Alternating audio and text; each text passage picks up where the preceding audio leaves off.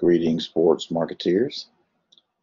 Welcome back to the ongoing lecture series for sports marketing, Mark 4480. Dr. Williams here, and I'll be your tour guide. Uh, for the life of me, I do not know why this font keeps getting changed when I convert it. Uh, to collaborate, but uh, collaborate has a bunch of hiccups, and that's just one of them. But anyway, chapter six discusses the sports product, right? So,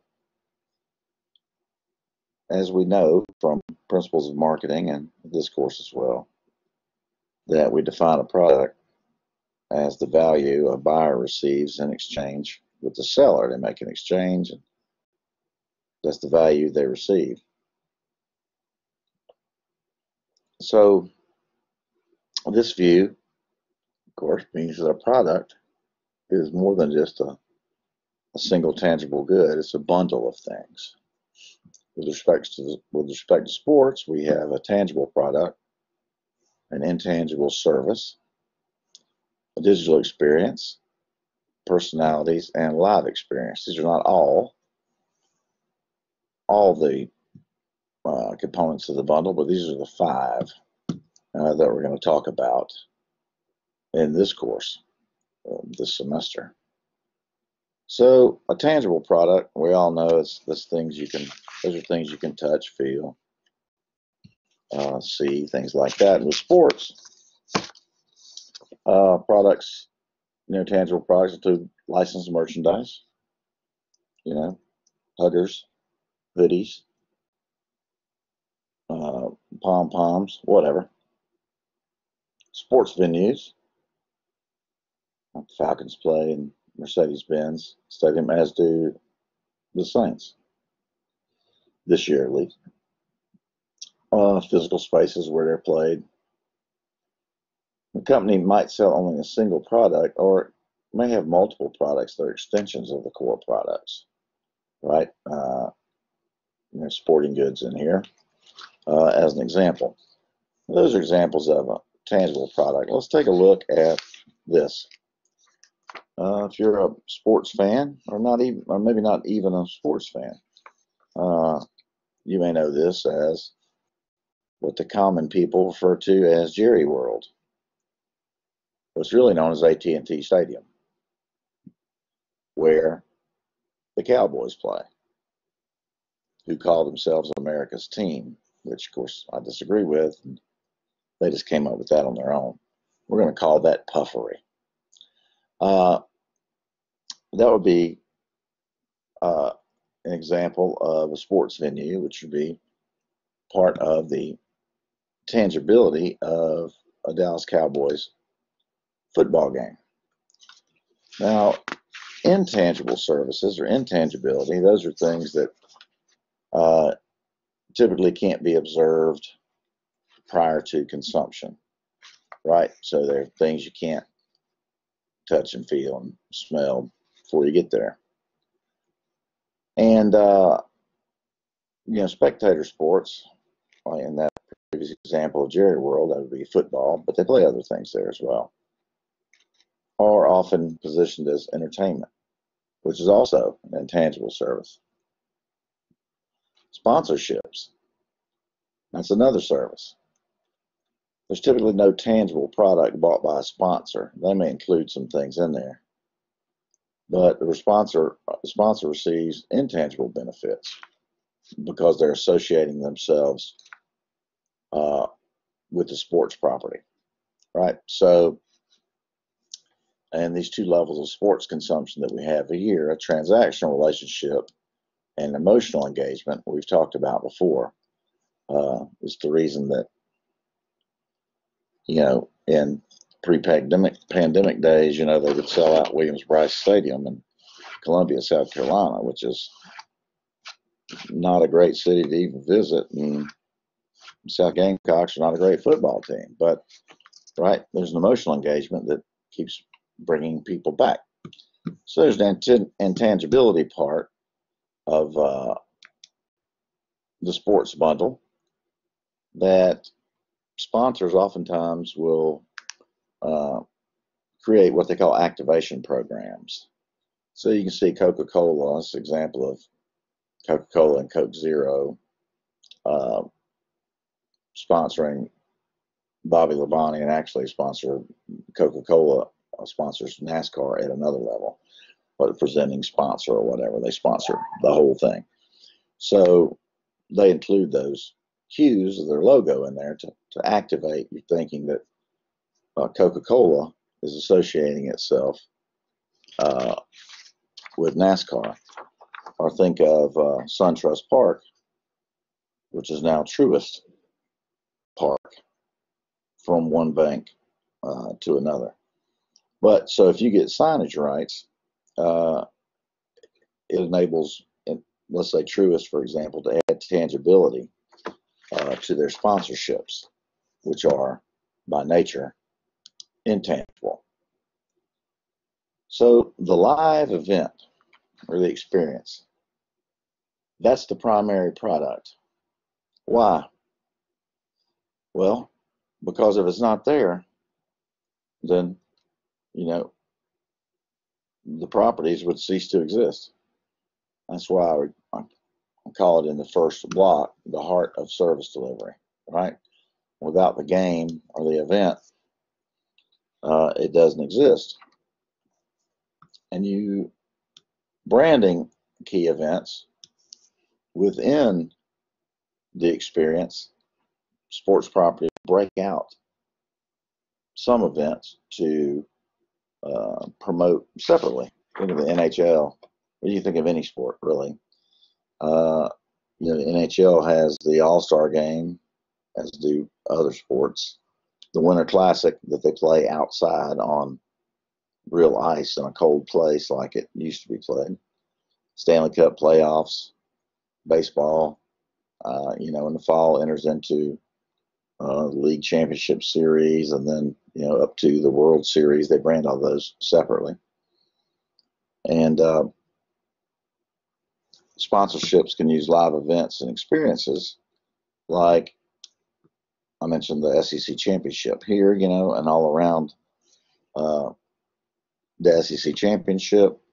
They have uh, you know Fan Fest, and you know, Dr Pepper sponsors the you know throwing of the footballs to yeah, it's Dr. Pepper, you know, to gain um, uh, college scholarships. And so you have the regular regular games and you have the, the special in season in season events that are most of the time marketed separately. In fact, maybe all the time.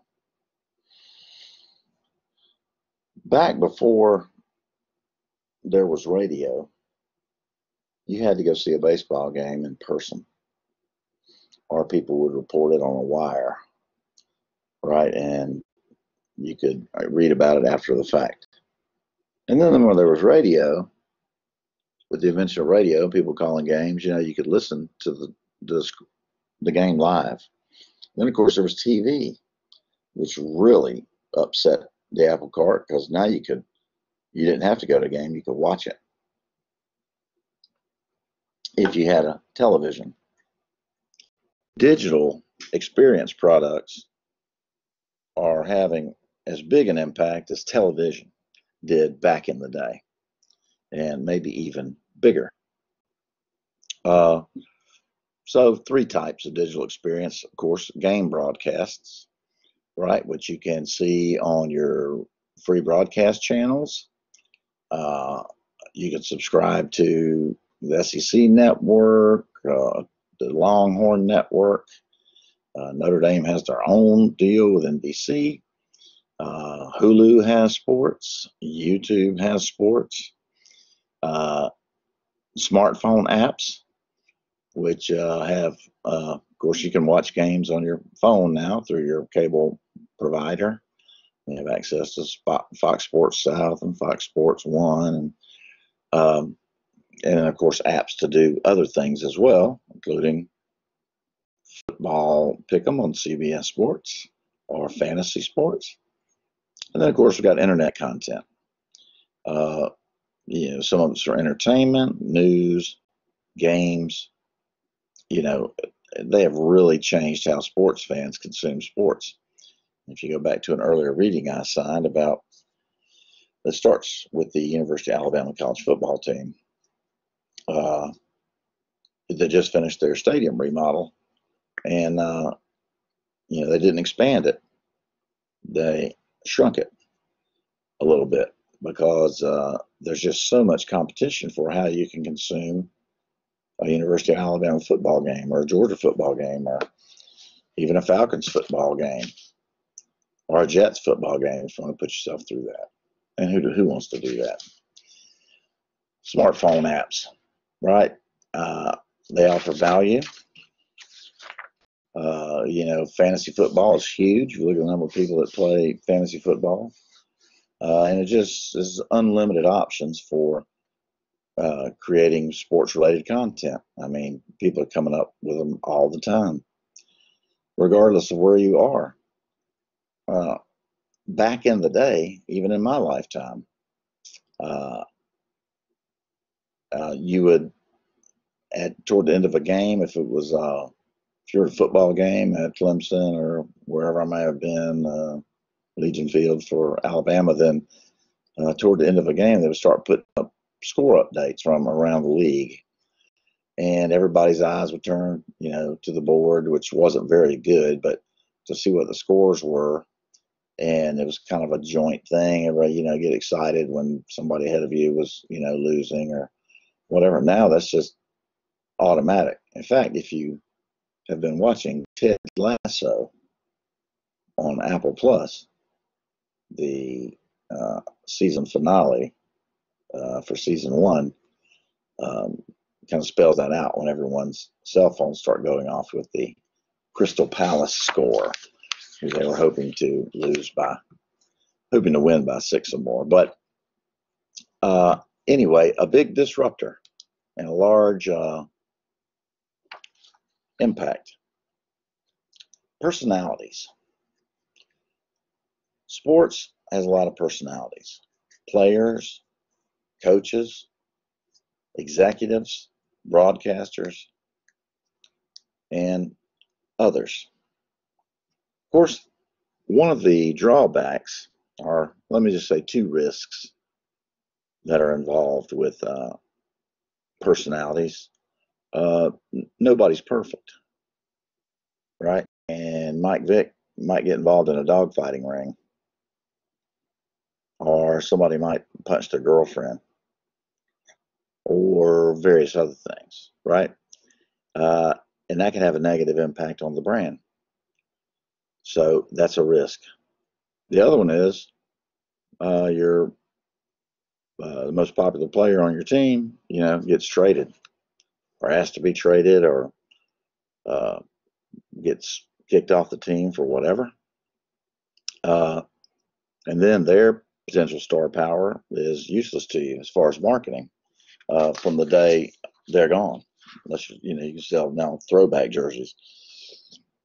You know the, I think one of the most popular throwbacks for the Hawks is a Pete Maravich jersey, and he didn't play for the Hawks that long. But uh, Pistol Pete Maravich, by the way, look it up. It is a good looking jersey. So let's look at a couple. Who is this fellow? Well, he's branded uh, here. He's branded here, branded here. These are probably branded because they're awful. It's branded here. The color of the truck is red and it's a Ford truck. Now, Ford is still a, uh, a presenting or lead sponsor for University of Georgia football. Uh, now it's Kirby Smart riding around in it, and it'll be the next coach as well. But uh, of course, Mark Richt was, you know, average, averagely successful, and uh, when he was uh, just when he knew it was the end of the road, he went to Miami, right? So all of these photos and sponsorships, that's not operative for Georgia anymore. And he didn't even go to Georgia. Coach Georgia, so it's hard for him to use. Now, let me give you a tip as we go through life. Um, if you want to, you know, not be made fun of, I mean, seriously, uh, get your pants hemmed and cuffed so they're not just breaking all over the place. You know, these pants are too long. You don't want to look like uh, you bought those off the rack. You know, take them to the dry cleaner and have them where they fit. Uh, tennis shoes with uh, some sort of khaki pants. Uh, never a good look. I don't care who you are. Pleats. Here's what pleats do they make fat people look fatter, skinny people look goofy. All right? Put a line through that. No pleats. All right. Uh, and black and khaki, uh, never a good look either. All right, black here and tan here. Uh, not a good look. Basically, this is all a goofy looking picture, although I'm sure he's a fine fellow. By all reports, he is. Now, who knows who this is? Well, I used a picture of Rick Pitino when he was coaching Louisville uh, because that's what happened. let's just say, I mentioned before that humans are imperfect. Well, here's one. So you can Google Rick Pitino, Louisville, you know, jukebox, whatever, but it's not for the faint of heart. And if you're very sensitive, might not be a story you want to read, but that's kind of how he ended up uh, getting knocked off from a very uh, cush job. Julio Jones, your Atlanta Falcon from the University of Alabama and Foley, Alabama, which is about 30 miles from my hometown. Uh, there have not been really any problems with Julio. He's been has a successful NFL career and hasn't been an issue with him. Probably won't be if there's not one by now. And uh, so that you know, if you want to associate yourself with Julio, like uh, Vita, Coco, Peach, and Mango does, yeah, it's worked out for him uh, so far. Mark McGwire, a notorious steroid user uh, who lied about it uh, and then tearfully uh, gave in some years later when he was helping to resuscitate baseball by knocking home runs all over the place. And baseball didn't seem to care uh, until after it was over. He did the, one of those got milk commercials, which of course people have memed. And uh, there's an example got juice. Uh, the milk producers, they don't use the got milk with Mark McGwire anymore. Uh, nobody uses Mark McGwire to advertise anything anymore. An example, a classic example uh, of a personality that caused problems. Now, you may not know who this is, but this is Vin Scully. I would listen to Vin Scully provide play by play of a funeral because he's great. And he was great for a long time. I believe he called uh, Dodgers games for 67 seasons. Now, to be able to do something like that, that public for 67 seasons, uh, you have to really keep your nose clean and be really good at it. He's since retired from doing that, but he has now, as of I think two weeks ago, joined Twitter. And this is the address here, uh, the handle I mean, at the Vin Scully. If you like sports at all, and you like really cool stories as told by Vin Scully in his voice, I encourage you to follow at the Vin Scully. And this particular picture, he's uh, hyping some kind of gum, it looks like. It's hard to see because it's a black and white picture that I dug up. These two gentlemen, both from Texas, whether you follow sports or not, you probably know at one of them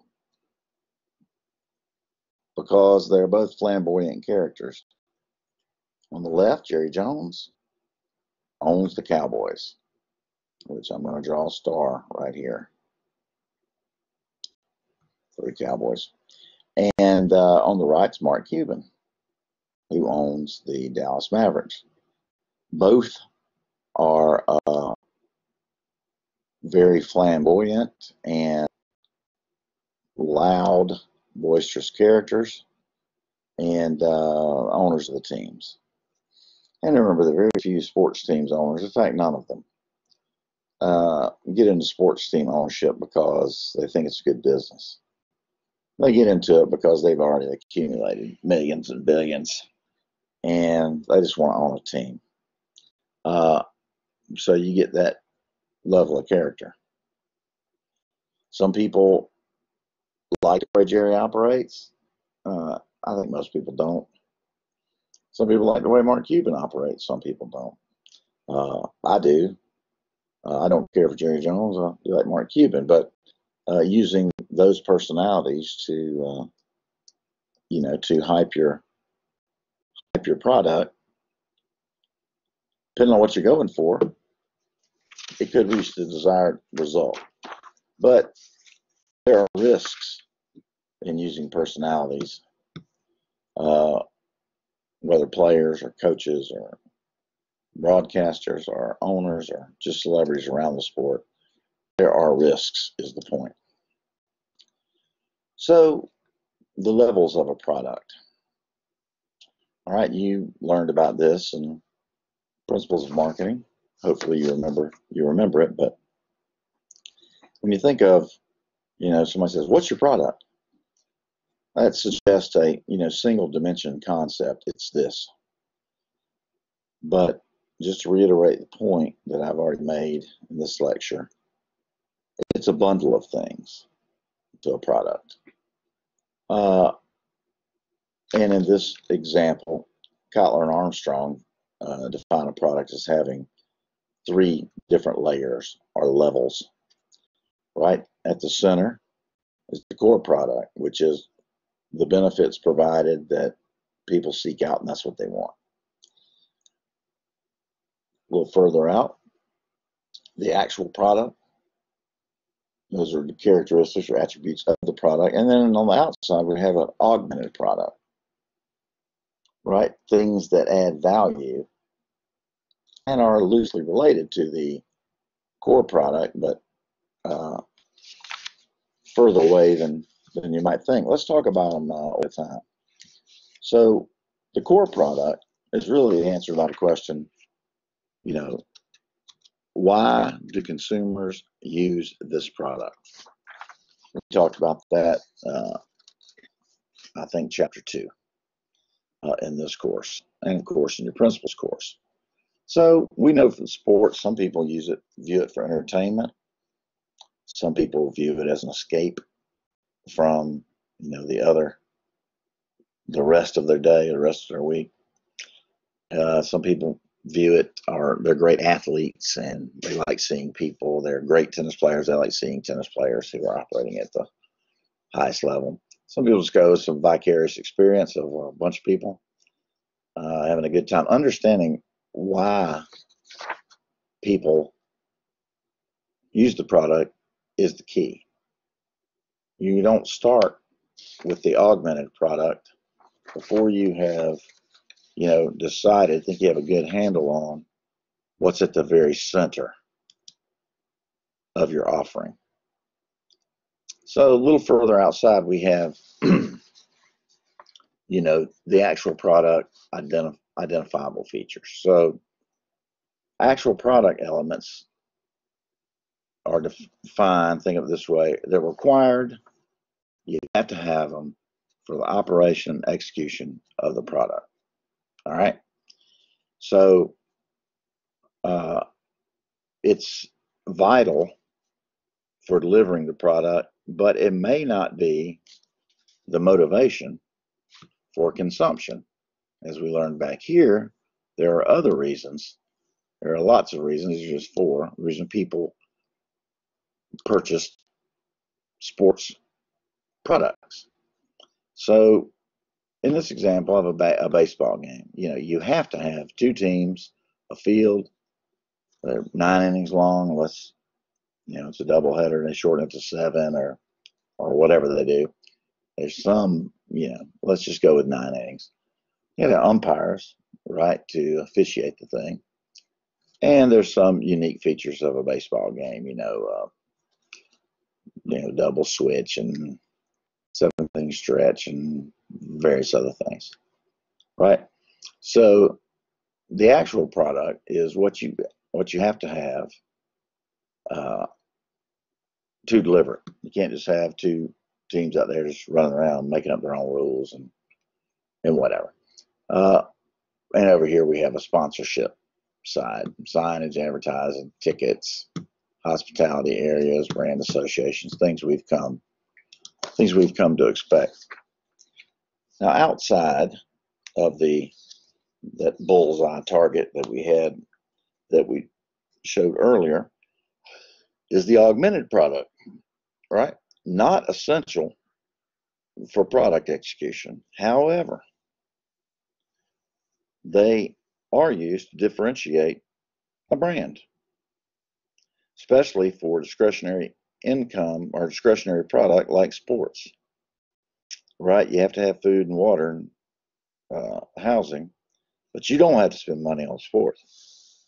Uh, but uh, so therefore, it becomes important to differentiate your your product. So you want your augmented product elements to add value, right? If they don't add value, they're just wasted. Uh, so, but they might attract people who may be less interested in the actual product because uh, they're more they might be more interested in part of the augmented product than they are the actual benefits that you know they're whoever they're going to the game with is looking for. Here's an example. Uh, I love prize fighting, and uh, I always wanted to go to a heavyweight prize fight. So I finally got my opportunity a few years back I when Deontay Wilder from Alabama, uh, because he could, he picked Birmingham as location for a title defense. And uh, of course, when that happened, uh, you know, I immediately bought tickets, and me and a couple buddies of mine over there went. Now, but here was the problem. You can see that it was sponsored by Corona, which is a beer brand. Well, it just so happened they used this fight as part of an activation program to advertise that they were making Corona in cans. Previous to this, they only were in bottles. So that was the best way to enjoy it. So Corona sponsored it, which meant that the only beer available at the arena that you see is full of people was Corona and in cans, which meant when you went to get a beer, they had to dig a can out of the ice, open it, pour it into a cup because you weren't allowed to take cans of beer into the thing, which took forever. Uh, so the lines were backed up all around the place. You couldn't get one unless you wanted to miss the fight. And uh, it's an example of when the augmented product doesn't add to, but takes away. Uh, and it really did take away from the uh, enjoyment of uh, my enjoyment that night, because you just couldn't the lines were, you know, I don't know, a hundred people long everywhere you went. It's just it was not happening. You know, if you wanted to see the fight. So here's some examples of uh, how an augmented product can add value. Uh, you can see, you know, concessions uh, at. Here's a good example. If you go to a, you know, UGA football game, the concessions are terrible. You can get a Chick fil A sandwich or a hot dog or a pretzel. None of it's any good. You know, it's just terrible. And you can't buy an adult beverage, and it's just ridiculous. Now, Georgia plays uh, in the uh, Mercedes Benz Dome. Well, there's tons of restaurants and beverage options, both adult and otherwise. Therefore, uh, whenever I go to a UGA game, I generally stay at the tailgate, watch it on television, where I can eat and drink fellowship, rather than going over into that thing where everybody's treated like a six-year-old. But if they play in a, another venue somewhere, uh, I typically will go and pay premium prices to go. So you can see that adds quality and uh, variety. When my daughter was little and we would go to a, a game, you know, she was more interested in the dance team and the kiss cam and all that than she was the game itself. But she didn't mind going because she knew all that crap was going to go on. Right? Uh, where people were going to get matched up. It was singles night or whatever. And, uh, you know, or if the, it was a dunk contest or whatever. So she never minded going. And uh, the augmented product was really the draw for her. So you can see how it can add to ticket sales because I wanted to go to the game. Uh, and she didn't mind going because there was a lot of activities going on. This is a NASCAR race in Charlotte, a Food Lion race. I'm not a NASCAR fan, but it's a good example of the augmented product where uh, Coca-Cola, you know, has put up a stage. So around the event, they've got uh, musical acts and comedians and and that kind of stuff, which is uh, you know, not the race itself, but a part of the augmented product that, as you can see from here, it seems like a lot of people enjoy going to. All right, so that is the end of part one. Uh, part two, we're going to talk about innovation and things related to that. So be on the lookout for part two and uh, I'll see you then.